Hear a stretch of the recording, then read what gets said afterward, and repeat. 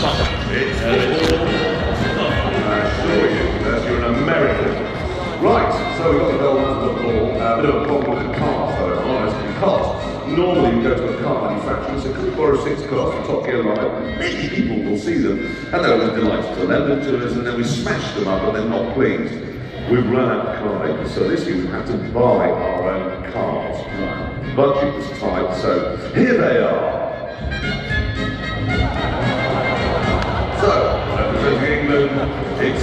The Austin Land Crab, and representing Australia, it's the Holden Ute from 1970. Okay, so there we are. Um, well, there are only two cars here. Are we going to entertain the good people of Brisbane with a game of one-a-side crap car football? No. No, you're going to be driving something else. Oh, good. Are they uh, Lamborghini guy? Are they spiders? No. Have you wantonly chosen something a bit crap? Yes. What? Well, let's bring them out. That line, Robert. Some of the way across some of Yorkshire last year and only had several accidents on the way, so you'll be fine now. Jeremy, I'm going to be killed in one of these. No, you're not. Fat people just roll around. They're just your and even if you are, it'll amuse the audience. Anyway, as you've uh, realised, you are captaining Australia, correct? And Slow, you will be captaining England, and I shall be the referee. Uh, right, first of all, let's get the rules sorted out. Uh, rule one, nah, puffers. Rule two, there is no rule two. Rule three, no hanging around in the goal house. You can't just park a car sideways across the goal and leave it there. If you're in defence, you keep moving, all right? Uh, otherwise, you'll be sent to the naughty step. Uh, right, who wants to kick off? Me. Okay, you can. Okay, Jeremy, I'm supposed to toss a coin. Well, I forgot to bring a coin out, sorry. Bit of a pity because most people think you're a really good tosser. Ferrari. Right. Um, are we ready? Are you all strapped in? Yes, I think we are. Uh, we're still waiting for Jay. I'm ready. Story of my life. Here we go. Three, two, one, go.